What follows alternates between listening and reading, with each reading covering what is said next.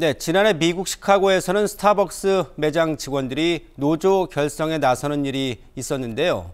설립 이후 50년 동안 이어온 스타벅스의 무노조 경영이 첫 번째 도전을 맞은 건데요. 과연 지난 1년 동안 스타벅스와 노동자의 싸움은 어떻게 됐을까요? 윤서영의 1년 전 그 후입니다. 설립 이래 50년간 무노조 경영을 이어온 세계 최대 커피 체인 스타벅스 미국 매장에 노동조합 결성 바람이 불고 있습니다. 시카고의 한 스타벅스 매장 직원들이 노조 결성을 위한 신청서를 전미 노동관계위원회에 제출한 것인데요. 노조 결성 바람은 지난 1년 동안 스타벅스를 휩쓸었습니다. 50년 무노조에서 2022년 한 해에만 전국 257곳에서 노조가 결성된 겁니다. 스타벅스뿐이 아닙니다. 아마존도 설립 30년 만에 처음으로 노조를 만들었고 지난 3일 마이크로소프트도 회사 창립 이후 첫 노조가 출범했습니다. 파업도 늘었습니다.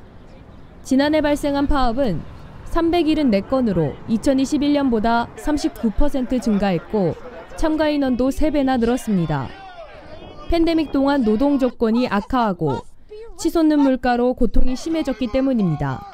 So I know like how is the expense goes up. Insurance goes up, maintenance goes up, gas goes up, and what are we getting for? Rent goes up.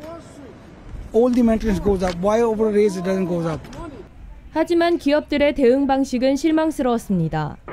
노조 결성을 막기 위해 투표 참여를 막거나 반노조 선전전을 펼쳤습니다.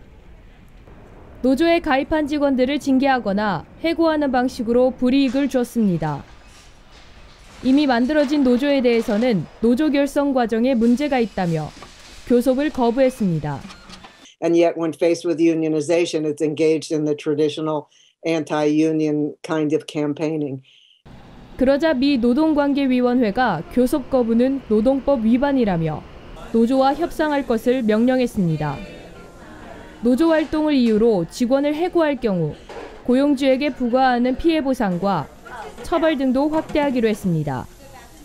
바이든 행정부는 취임 초기부터 노조의 필요성과 중요성을 강조해 왔습니다. This is also about jobs. We will put thousands more Americans to work in good paying union jobs. 미국 실업률은 거의 50년 만에 최저 수준으로 노동자들의 위상이 상대적으로 높아진 것도 노조에 힘을 실어주고 있습니다. 전문가들은 스타벅스와 아마존 등 굴지의 기업들 역시 글로벌 리더 그룹이라는 위상에 맞는 책임감을 찾아야 한다고 조언합니다. 1년 전 그 후 윤서영입니다.